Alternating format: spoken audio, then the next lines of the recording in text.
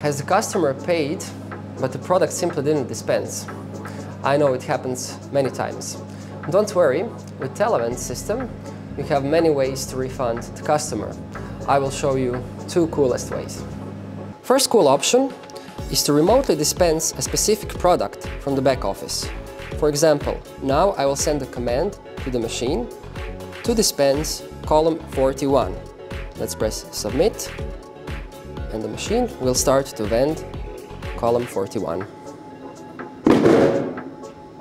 Second cool option is to push some credit to the machine and let the customer choose any product he wants.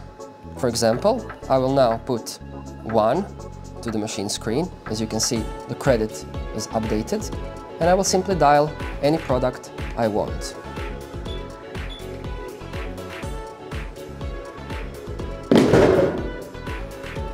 Aren't those really attractive ways to keep your customers happy and to improve your reputation?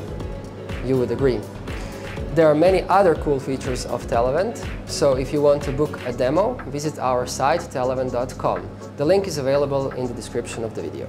See you!